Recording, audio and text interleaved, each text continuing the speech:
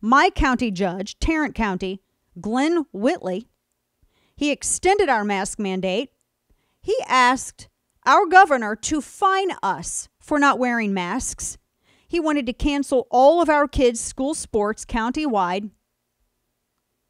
And days before Thanksgiving, the commissioners, of which he's the spokesperson, and he's supposed to be a Republican, guys. He extended the the countywide mask mandate, and um, what I think we have to go to February now for this stupid mask. And then after he extended the mask mandate and social distancing, and he wanted to fine citizens who didn't wear a mask, his daughter posted a photo of him without a mask, not practicing social distancing at a business, at a birthday party. This after they were telling all of us to stay the hell home for Thanksgiving, intimating that somehow we would be murderers if we didn't. Shelley Luther had to spend time in jail because she violated the rules, rules like Glen Whit, the rules that Glen Whitley can create but not abide by himself, rules that judges like Clay Jenkins can create but not abide by himself. This is inexcusable. We've reached out to Tarrant County Judge Glen Whitley.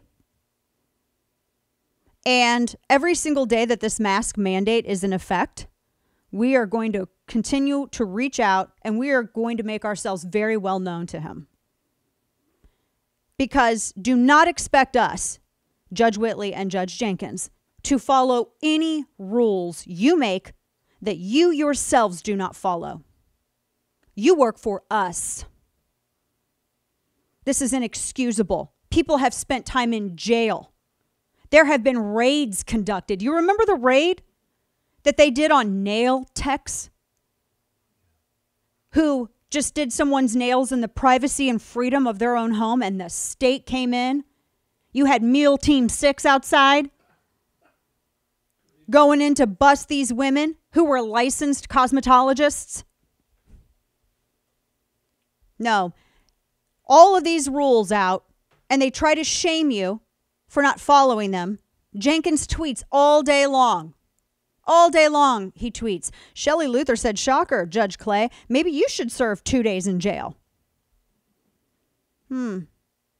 Yeah, Texas County judges apparently don't believe that the rules apply to them. So I don't see why we should have to wear masks in Tarrant County because clearly the judge who extended, who created the mandate and extended it, doesn't believe that he should. Tell me what makes Judge Glen Whitley so much more special than the rest of us. That we, I have friends who had to bury parents and they didn't even get to have funerals because of orders like the ones Glen Whitley put out but he gets to violate these orders so that he can do this and have a have a fun birthday party maskless without practicing social distancing? How dare you?